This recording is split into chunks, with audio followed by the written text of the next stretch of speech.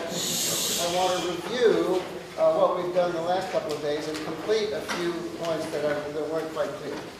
Uh, and then I want to talk about uh, general moduli, global moduli questions, and uh, when, they, when something exists or doesn't exist. And then, most important, formal moduli, which is sort of in between the infinitesimal and the local. So let's just start with a little, a little review of what we've done. Because we've studied uh, particularly two different kinds of deformation problems. I want to list three or four more others that I'm not going to talk about in detail, but follow exactly the same pattern. So the problem we first problem we studied were uh, closed subschemes.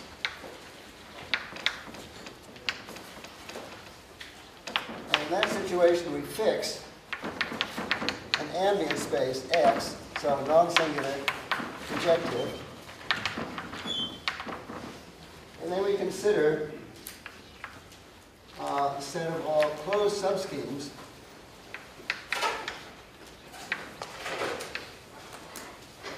in X with some polynomial, Hilbert polynomial, uh, fixed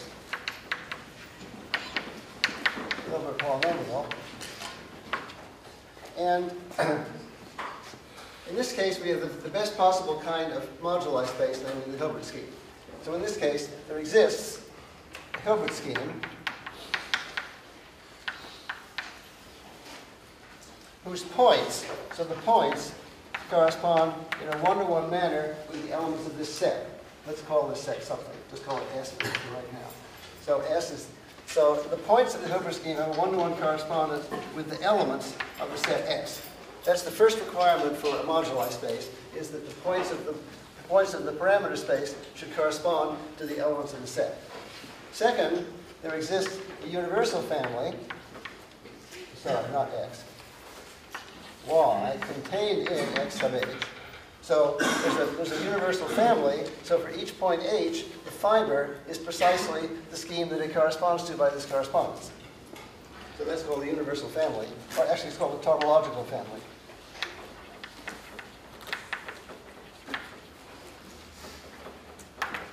And then we have the third property, that for any family, um, what should I call that?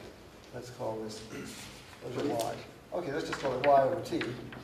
For any family of these things, so for various t's and t's, I have various yt's, and these are all contained in this fixed x, this fixed uh, ambient projective space. So for any family of schemes of this kind, there exists a unique morphism from the parameter space into this universal parameter space with the property that for each t, call it phi of t, is equal to that h that corresponds to yt according to this one-to-one -one correspondence. That's the third property. And the fourth property is under those circumstances, this y is actually equal to the universal family cross over h of t. So this is, this is the best possible kind of moduli. It's called a fine moduli space, where you say that this h together with the family y represents the functor. And I won't give you the definition of representable functor. that would take too long. So this is the best possible, best, best of all possible worlds. And the corollary of this situation is that this statement about the, the universal families applies also when t is infinitesimal. So it means that if t is equal to spec a, an Artin ring, then the families of y over t is the same thing as giving a homomorphism from h uh, at the corresponding point into A. So for each family over an Artin ring, you have a morphism from spec A to H, which corresponds to a ring homomorphism of the local ring down to A. And it's this fact that we've been exploiting to say, corollary of that, is that uh, the families uh, y over the dual numbers correspond to the Zariski tangent space h at y. And then if there's no obstructions,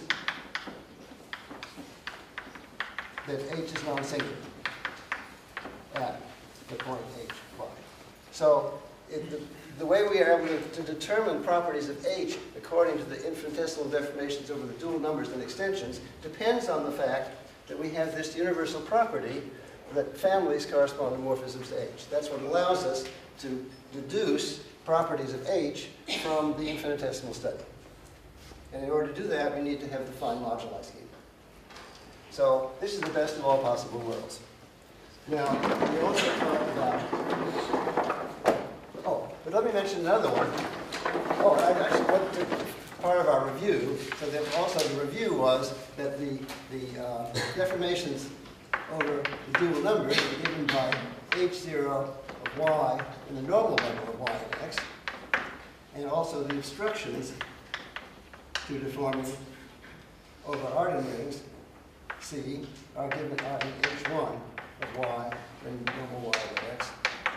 Only for the second span of h1, we need a hypothesis on y, that y is either locally complete intersection, or Cohen-Macaulay in codimension 2, or Gorenstein in codimension 3. This is shorthand. CM2 is Cohen-Macaulay in codimension 2. G3 is Gorenstein in codimension 3. So that's the situation for closed subschemes. And we've seen some examples and, and calculations. Now there's another situation that's also very nice, and that is to study line bundles. So I haven't talked about that before. There's another deformation problem. You fix x, and you consider the set of line bundles, L. So L is a line bundle on x. And let's make x be uh, projective. And then we can talk about the fixed degree.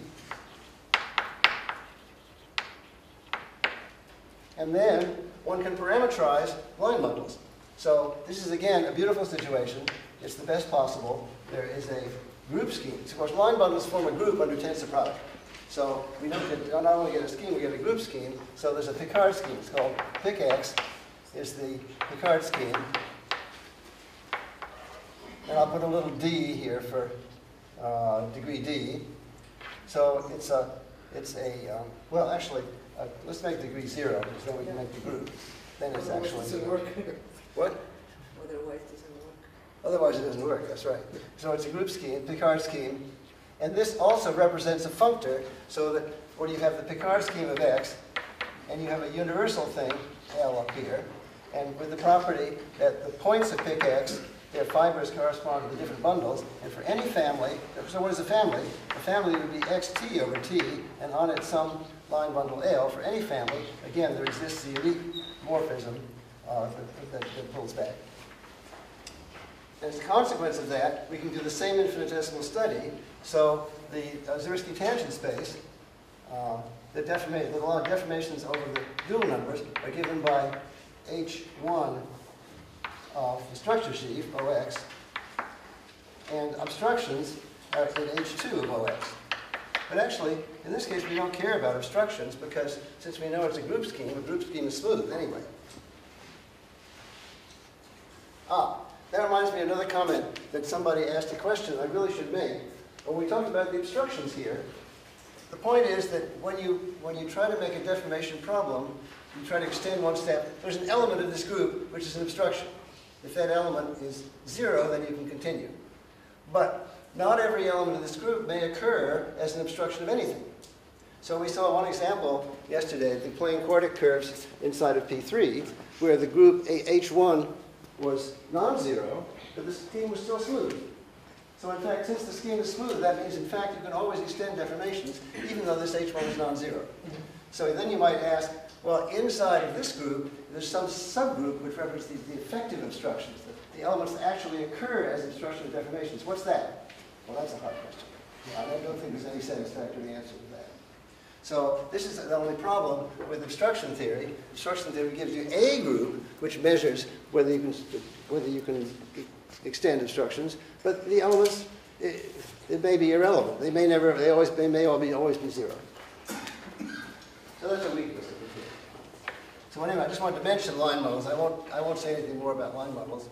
I just wanted to put them there as another example.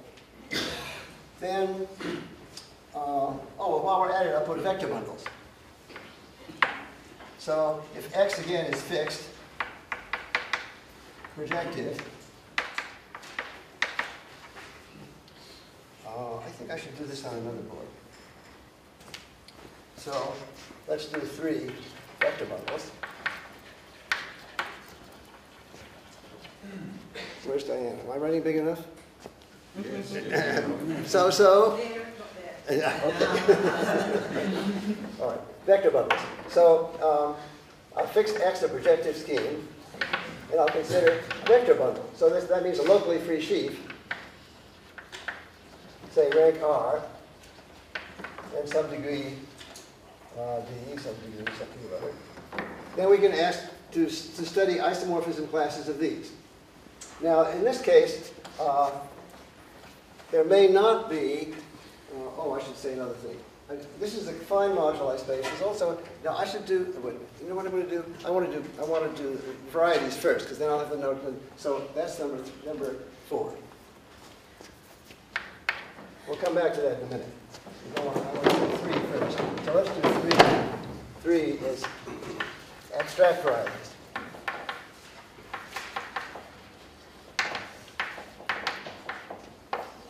And this we have talked about. So in the case of an abstract variety, if some, you have some uh, abstract variety x naught, and you want to study deformations of x up to isomorphism. Well, we did do an infinitesimal study, so in the case, in the affine case, two cases.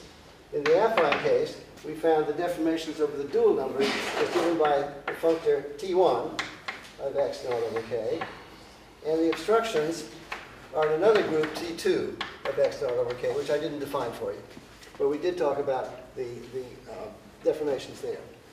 And then in the case that x naught is non-singular and projective, in that case, there's no local obstructions, so it's a global question. And there, the tangent space is given by h1 of x and the tangent space of the tangent bundle, and obstructions are in h2 of x in the tangent bundle. So we've done the local study, but what about a global, what about the existence of some kind of global variety? Well, first of all, there's practically never a fine moduli space. But in certain cases, like curves, for example, there's something called a coarse moduli space. So there's a theorem which says if x naught is smooth curve of genus G, then there is the so-called coarse moduli space. And what that means is it's a variety MG. So watch the parallel with that situation up there. It's a variety 1 MG whose points are one-to-one correspondence with curves of genus G. So that's good. Secondly, whenever you have a family of curves, x over t, you have a family here, for any family, of, of non-singular curves of genus G, there exists a unique morphism from t to m, such that for each little point t, it's what you want, you've got the curve xt, t goes to the point, uh, phi of t, that corresponds to the curve. So that's good. But th- there's generally two problems. There may not be any tautological family. It just may not exist. And of course, if it doesn't exist, you can't say that this is the pullback. So in this case, when you have, when you have these properties, the one-to-one correspondence and the existence of a unique morphism for any family, that's called a coarse moduli space. Well, it's very nice, um, but because we don't have the universal property, we cannot apply this, the infinitesimal study of the curve does not tell us anything about the moduli space. So the infinitesimal study here is a very interesting study, but we cannot draw any conclusions about the mg from that infinitesimal study, because we don't have that, that property. Now, we computed the other day that for a non-singular curve, uh, the, the deformations has a space of dimension 3g minus 3, and there's no obstructions. So if this was a good space, it would say this was non-singular of dimension 3g minus 3. Well, it happens it does have dimension 3g minus 3, but it may have singularities. So the moduli space, uh, not for, not for genus 1, but I don't know when the first, first, uh, first singularities occur. At least genus 2 or maybe genus 3 there's singularities. Anyway, this can have singularities. So let me give you one specific example. For example, if you take elliptic curves,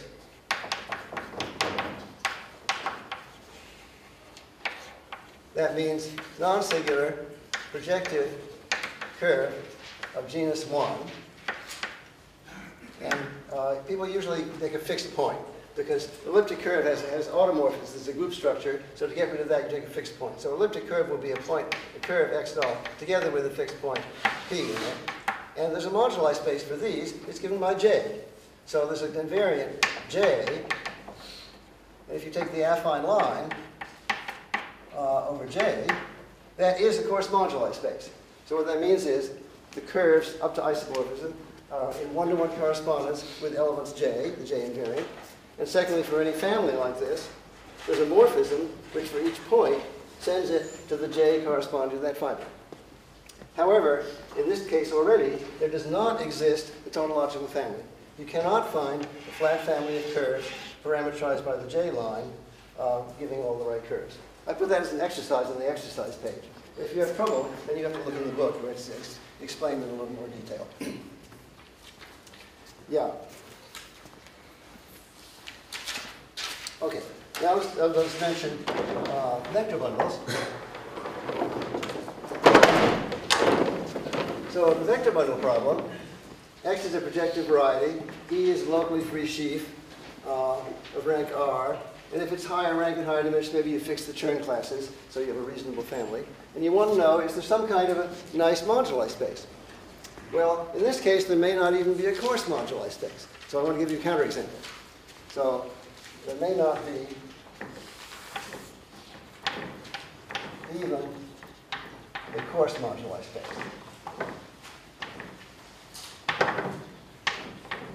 So to understand the problem, let's take x equal to p1.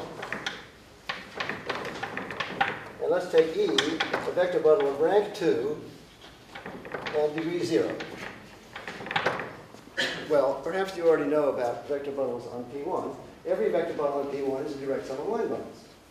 So a line bundle of degree 0, E must, must be isomorphic to O of A, direct sum O minus A for some integer A in Z. I can even take it greater than equal to 0. So up to isomorphism, the set of rank 2 bundles of degree 0 on P1 is a discrete set. It's uh, indexed by the integers 0, 1, 2, 3, 4, so. So that's my moduli space. It, it, its points correspond in a one-to-one fashion to isomorphism classes of these vector bundles. That's good. But consider the following family.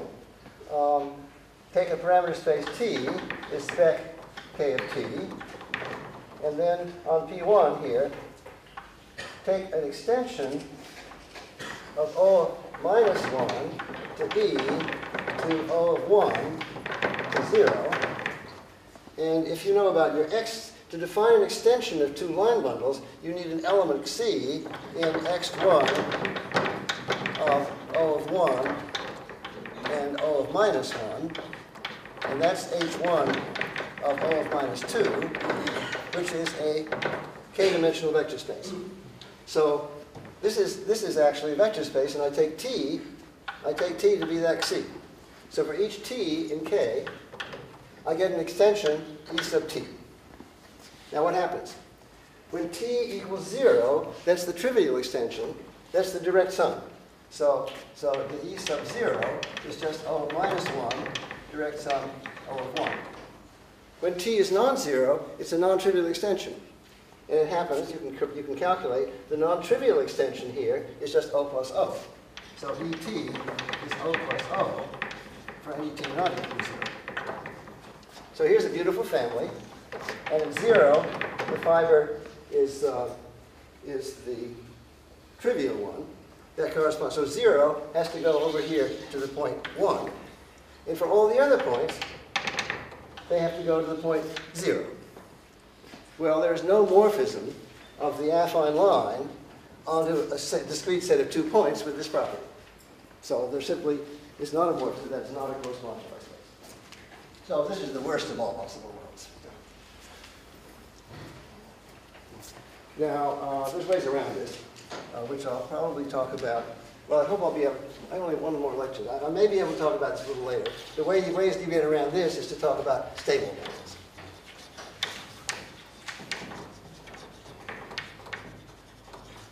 Or simple vector bundles. So if we have time, I'll talk about those. But this, is, this, this shows why you need to do something special in the case of vector bundles. All right. So this is a sort of a review of the kind of things that have happened. For the closed subschemes and the line bundles, we have a fine moduli space. The function is representable. It's very beautiful. For, uh, for affine or for abstract varieties, in some cases, we have a coarse moduli space, like for curves. But already for surfaces, uh, except in some special cases, there may not even be a coarse moduli space. So it's, it's terrible. Uh, and for vector bundles, we have this problem, which, which, is, which is prevents even having a coarse moduli space. But for vector bundles, we can still do the infinitesimal study. The answer to the infinitesimal study is that deformations the dual numbers are given by Ext1 of e and e, and obstructions are given by Ext2 of e and e. So we can still carry out the local construction. I won't do it in detail, you can find it in the book, but it's still, you can do the local construction. So then the question would be, even in the absence of the coarse moduli space, what's the value of this calculation? What, what good is it? Is it any good? Okay, so now that brings me, that closes the review. And that brings me to the next topic for the day, uh, which is uh, formal moduli. Okay, so let's start.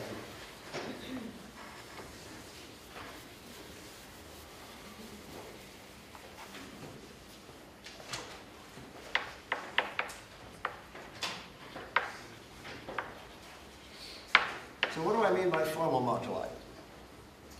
Well, uh, up to now, we've studied deformations over the dual numbers or, or over Artin rings, so infinitesimal. That's the one side, that's the very small side. And then just now, I give you a review of the global question of, of, of moduli, which is, which is very uh, uneven and unsatisfactory. So formal moduli is a question that lies in between those two. So it lies in between the purely local and the global.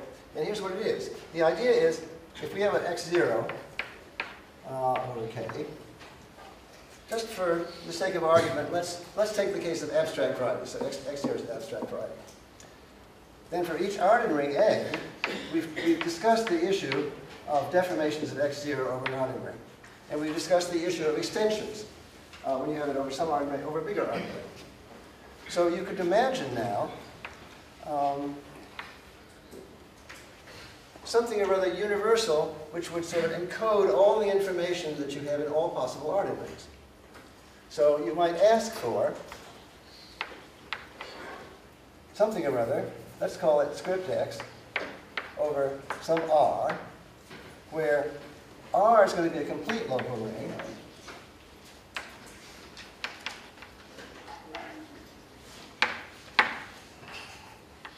And, uh, well, X is sort of a formal family, but I don't really mean an actual family over R. What I really mean is that for every quotient R over m to the n, you have a, a scheme Xn, which is the deformation of X0 over K. So supposing that you've got a complete local ring, and this is sort of in quotation marks. Eh, This may not actually, this isn't actually anything there. Uh, but what I want is a collection for every n of a scheme xn over r mod m to the n, which is a deformation of x0, so it contains x0, and with the property that these are compatible with each other as n changes. So uh, if I have x, this one is equal to the next higher one, x n, n plus 1, crossover tensor over r with r mod m to the n. And x to the n plus 1 would be over r mod m to the n plus 1. So imagine for every n, all of these guys. So the limit of these rings down here will be just R. If R is a complete local ring, it's the limit of these guys. What? What did you- What did you just write? What did I just write? Oh. Oh, I don't know. Okay, let me write a little bit. Okay, so I'll, I'll write that bigger. We want something or other in quotes over a complete local ring. And what this something or other is, is it's not a scheme, it's actually a collection. It's a collection of, for all n, it's a scheme xn over r mod n to the n. with the property that for each n, xn is going to be equal to xn plus 1 tensor over r mod n to the n plus 1 with r mod n to the n over Ah, over, over the, over, it's also over r mod n to the n. So x to the n plus 1 is over r mod n to the n plus 1. If we tensor it with r mod n to the n, it should be equal to this one. And, well, equal, there should be a, also compatible, I should, instead of saying equal, I should say there are a compatible set of isomorphisms. And these are all deformations of x0. In particular, x0 is equal to, under this notation, uh, if n is, oh, n is, x0 is x1 in this notation. So, so this, this thing means the collection of, for every n, all these x n's, together with the morphisms, so that they are all deformations of x n. Each one is an extension of the previous one, and they all fit together.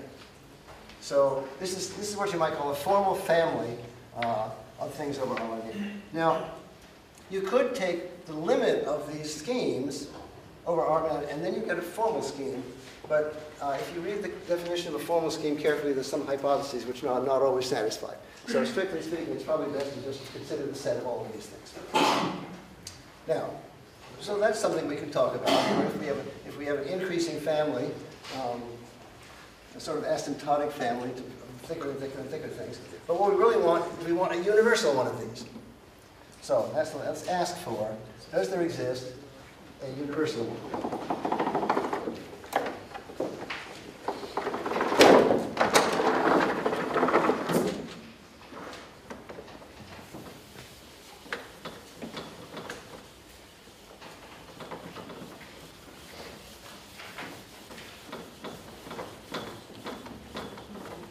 So we want some kind of a universal such family. Look for a universal family. And what exactly does universal mean? Well, it's going to be the weak form of universal and the strong form of universal. The weak form, well, I'll do the strong form first. The strong form of being universal says for any deformation x over a, where a is an Artin ring, which is a deformation of x0, and here's r, and here's my x, there should exist a unique morphism of r to a such that x is obtained by base extension from script x. But what does that mean? What that means is that uh, whenever, of course, any, any map from a complete local ring to an Artin ring factors through some R mod n to the n. And in that case, I want x to be equal to xn tensor over r with a.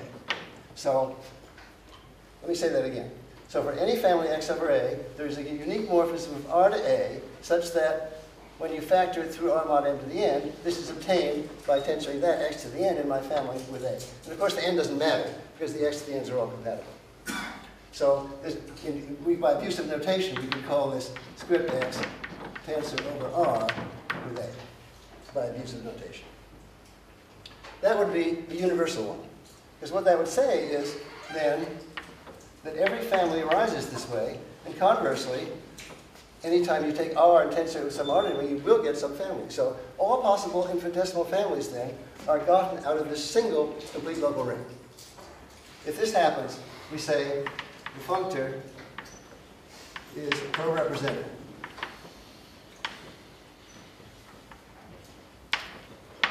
I haven't told you what the functor is. I'm trying to avoid the language of functor. The- functor, functor is basically for each ring, you consider the set of deformations over that ring. And if this happens, then all the nice things, all our infinitesimal study is very good. If so, then the tangent space to R, which is mr over mr squared, uh, dual, dual vector space, is going to be equal to the deformations over the dual numbers.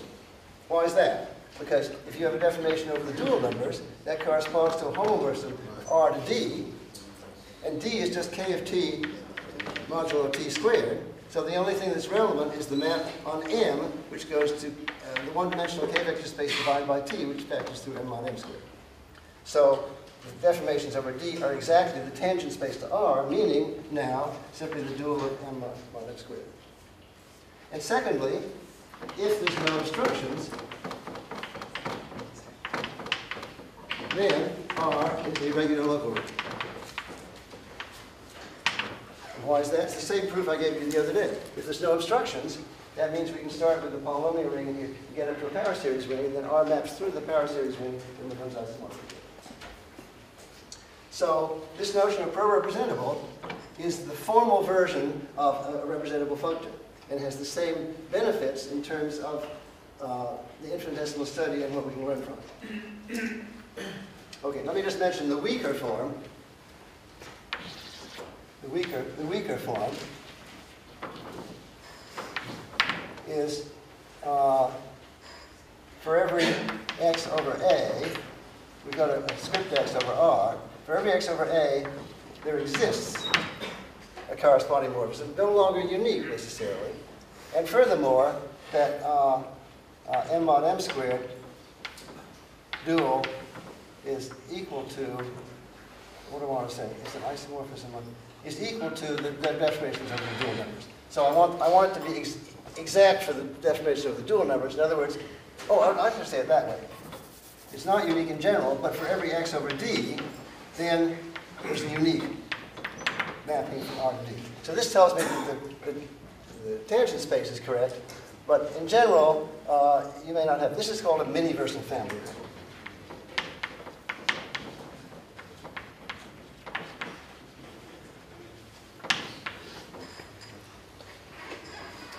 Okay, so, um, well, clearly this notion is of interest, theoretical interest, because it lies between the local and global, but it wouldn't be useful unless, the, unless it was something you could work with. This was proposed by Grothendieck in one of his lectures in the series uh, FGA, Full One Geometry Algebra. Um, but the real value of it is due to a theorem of Mike Schlessinger, which gives a criterion for a function to be pro-representable. It's quite a useful and manageable criterion. Uh, I'm not going to state uh, Mike's theorem because it's a little bit technical to state. But you can find you can find the statement uh, in the book there. But I will tell you some applications.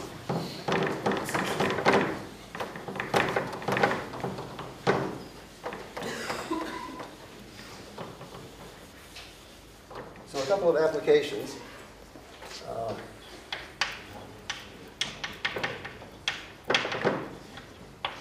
Oh, before I give an application, I'll just say something obvious. If the global functor is representable, then the formal functor is pro-representable. You just take the global family that represents the functor and take the completion of the parameter space at the point, and that, that does it. So anytime you're representable, so representable globally implies pro-representable functor. So that takes care of the Hilbert scheme and the Picard scheme. But what's interesting is that uh, in the two other cases we talked about, vector bundles and um, abstract varieties, which are not not, not globally representable in general. So for abstract varieties,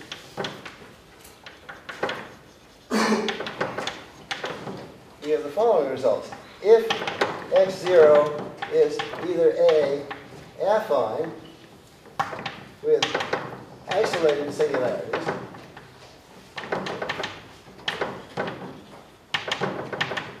or B projective,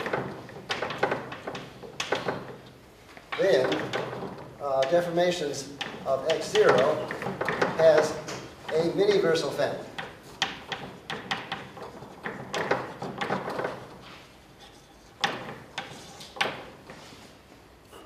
And secondly, if x0 is projective,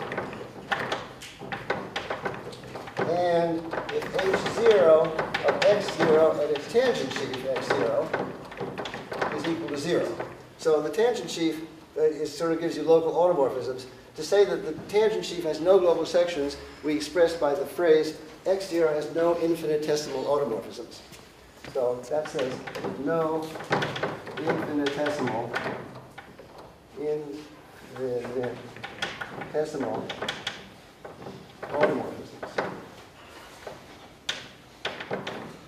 In that case, uh, the functor is actually pro-representable.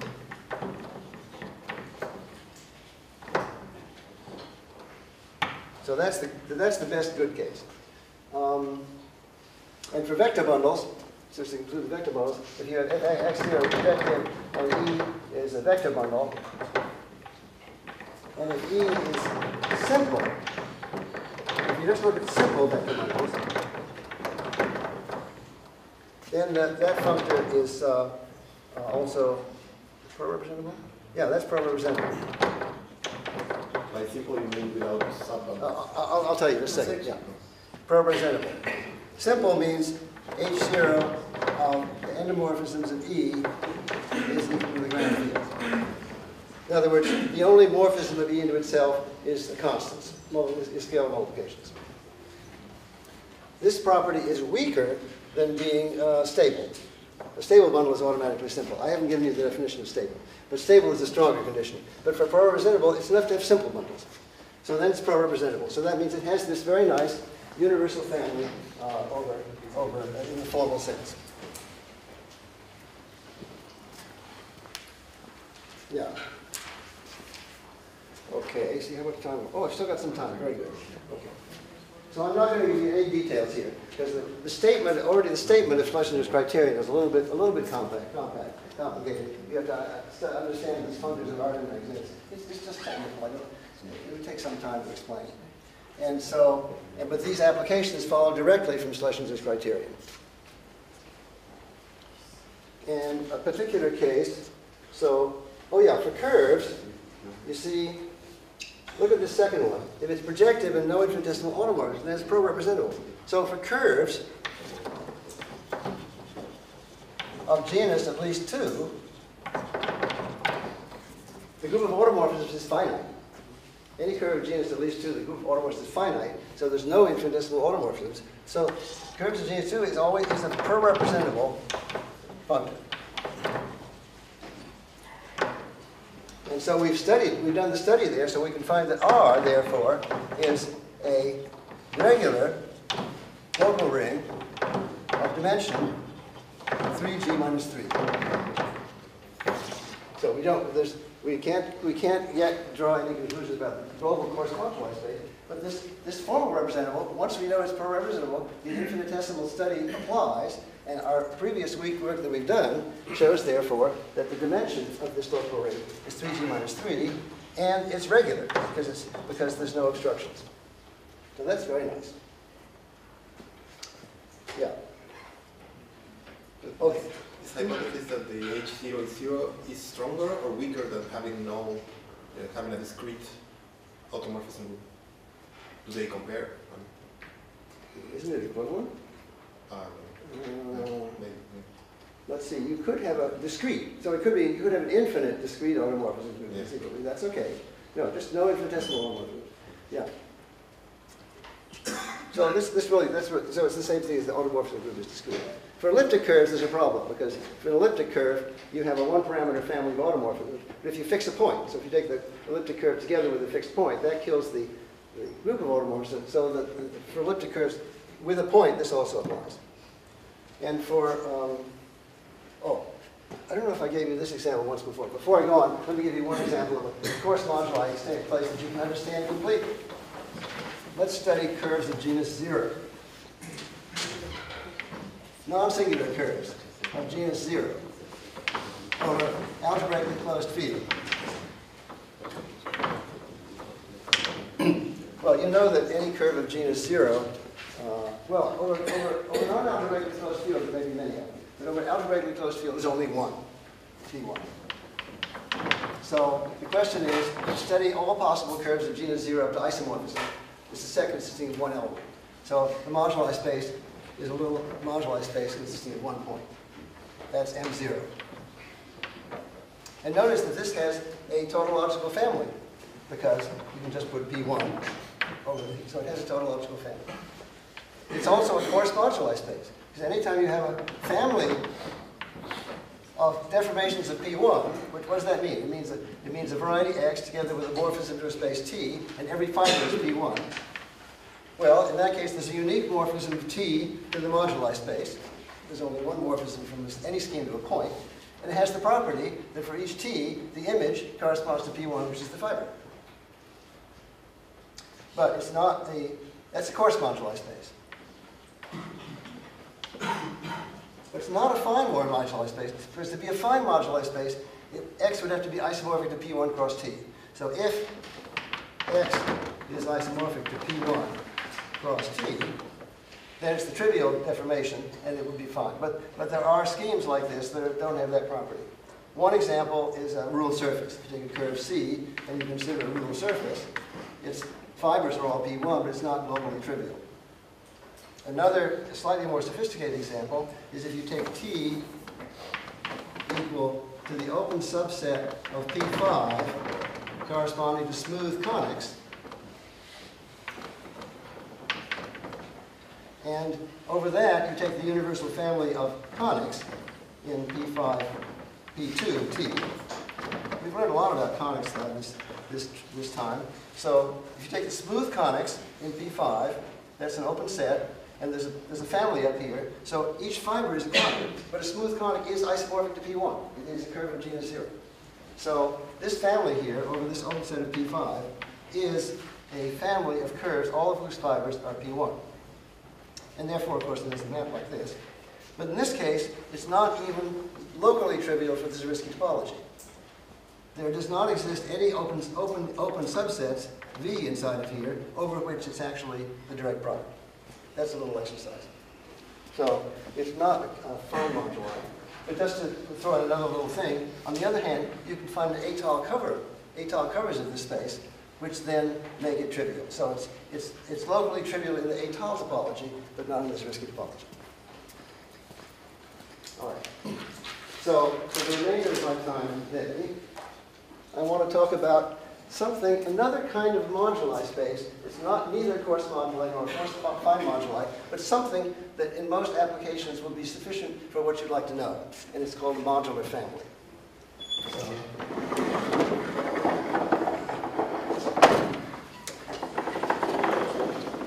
Actually, maybe I'll keep these for just a minute and work over here.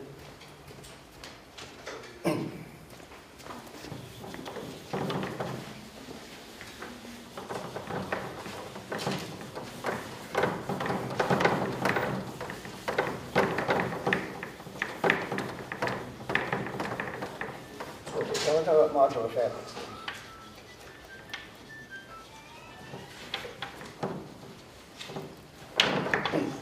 Introduced by Mumford in an article uh, at the Purdue Conference in 1963. The book is called Arithmetical Algebraic Geometry, and his paper was called Picard Groups of Moduli Problems. And in this, in this uh, he, he, what he wanted to set out was he wanted to study uh, the Picard group of the moduli problem of, of elliptic curves. Not the Picard group of the J-line, which is trivial, but something more interesting. But I'm not, I'm not going to talk about the Picard group. I just want to talk about the notion of a modular family. So this is something or other which is sort of like a moduli space, but not quite, and which exists more often than regular moduli spaces, and has the nice property that we can use our infinitesimal study for properties of this thing, and it's almost as good as a moduli space. So here, here's what it is. Supposing we have a, supposing we have a moduli problem, and it could be, you know, it could be, well, we don't need to do subschemes because they have they have an actual representable functor. So it could be abstract schemes or vector bundles or something other. Let's do abstract schemes. In fact, uh, why, don't I, why don't I specialize it to uh, non-singular projective curves? I'll give a specific case, and the, the definition is the same. So we consider the set of x non-singular projective curves. Okay. So what is a modular family? So a modular family is going to be a space uh, M together with a family of curves. So this is going to be flat family of curves of genus G. Okay, now what properties do I want? With the properties, first of all, every curve of genus G must appear in the family uh, X over N at least once and at most a finite number of times.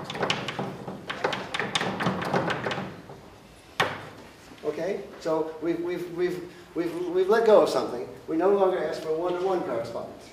We're simply finite to one correspondence. So every curve has to appear, but it may occur several times, but only a finite number of times. So that's the first condition. The second condition is for each point m and n, so m and n corresponds to a curve x, xn. For each point m and n, if you look at the formal family, you see if you take, if you have a point m and n, you can look at the local ring of m at the point m and complete it. And over that, you have the family, I should call it x m hat. This notation is even worse than the previous notation. See, this was a real family. But what I mean is, if you, once you fix a point little m, out of this real family, you can get families over every Artin local ring.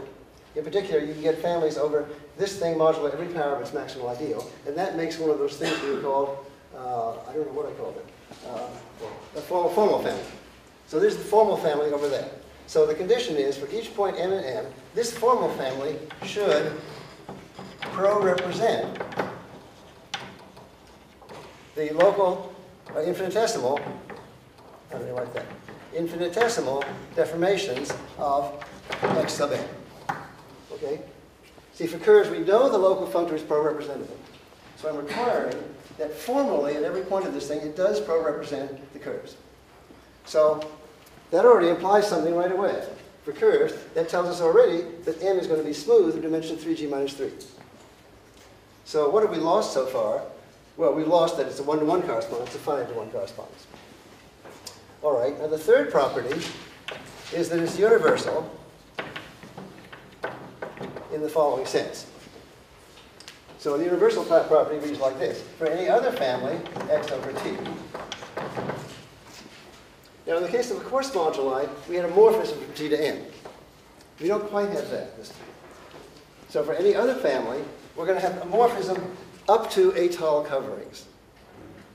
So what does that mean? That means if for any x over t, any other family, there exists a scheme S together, together with an étale surjective map from S to T and a morphism from S to N. So it's not exactly a map to S, but after an étale covering, you see, étale surjective map S to N. There's a morphism there. And what, what about the pullback? Well, of course, X is not the pullback of the script X, but what happens is that uh, X cross over T S, that's the pullback of this one, is isomorphic to the universal family over here, X cross over N S. So over this middle scheme, the two pullbacks are isomorphic. So it's almost, it's almost like a representable functor, except up to étale coverings. And uh, étale coverings are essential, as you can see from this, from this example of conics. So it's almost as good as a fine moduli space. And the value of talking about these things is they exist. So let me give you a sketch of why there exists a modular family of curves of genus G.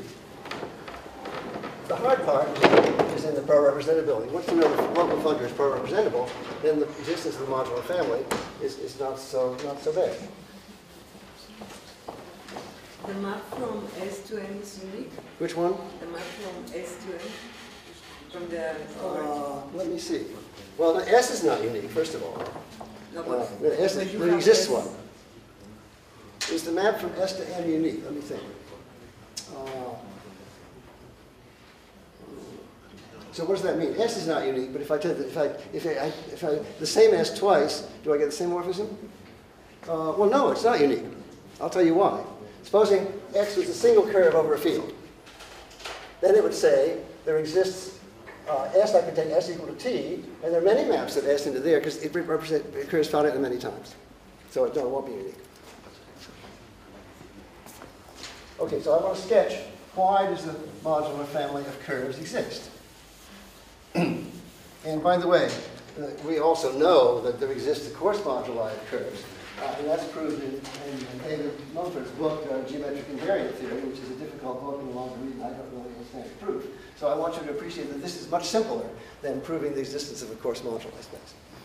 So claim, if you take curves of genus G, there exists a modular family. Okay, so here are the steps. First of all, take any curve of genus G, and then you take the, uh, the tricanonical embedding,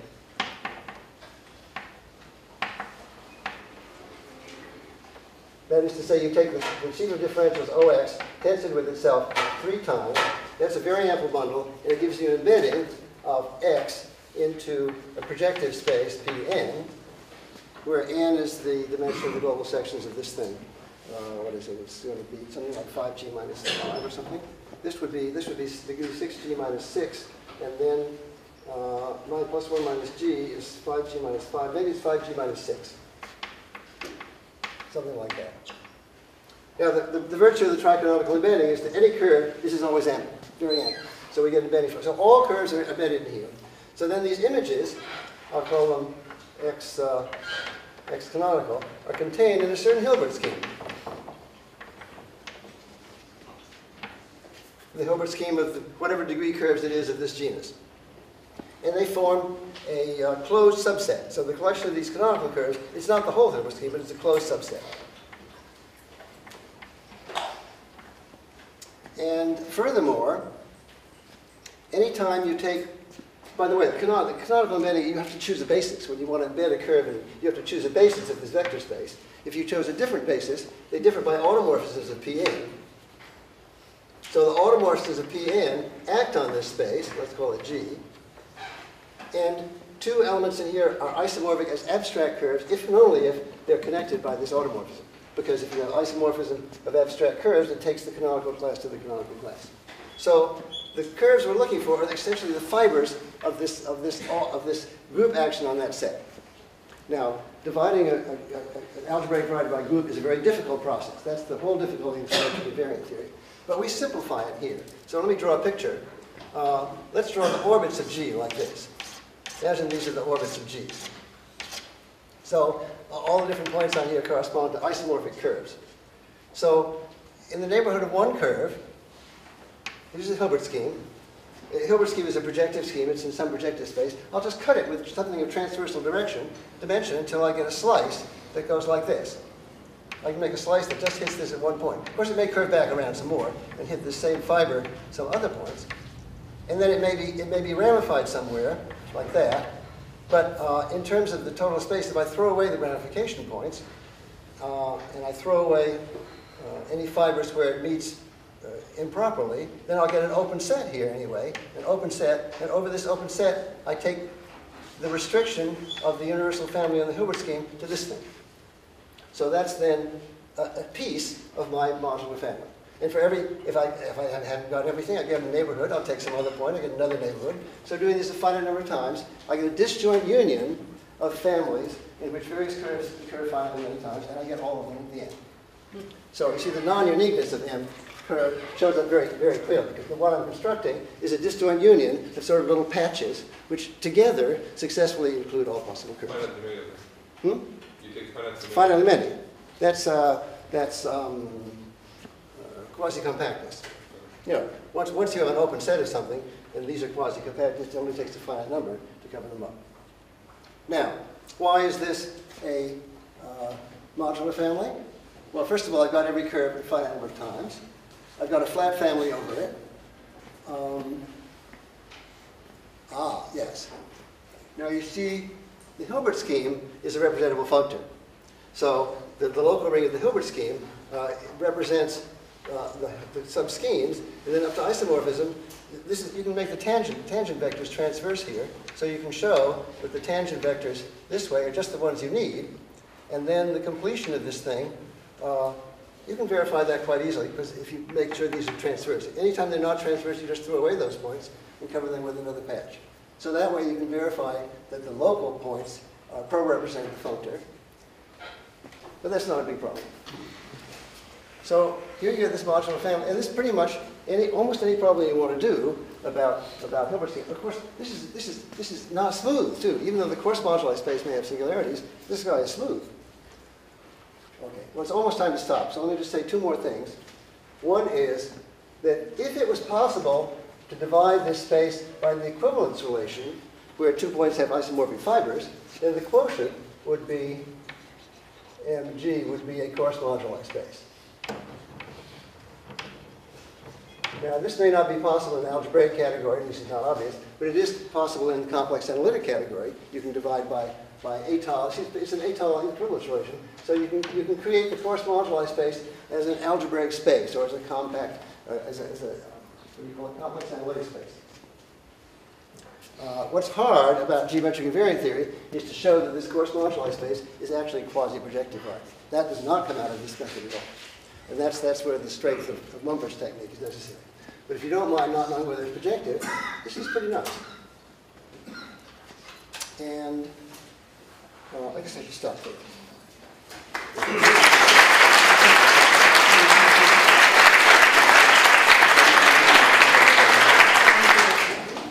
Well, I wanted to say one more thing. Uh, I was, talking, with, talking with David Mumford recently about this book and the modular families. He said, said, "Oh, I thought the modular family was the stack." So this, is almost a stack, even though I haven't defined a stack. But this is almost a stack.